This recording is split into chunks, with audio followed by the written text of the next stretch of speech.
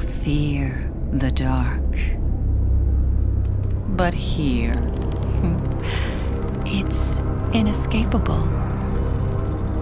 Remember where you are. This is Innistrad, where light only exists to cast shadow. Those shadows are twisting into threats so absolute, so relentless, that you'll have to keep fighting them just to survive.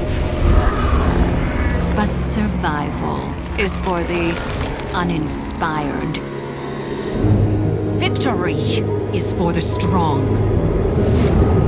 And the strong are willing to embrace the darkness. This is my domain. So fall in, soldier.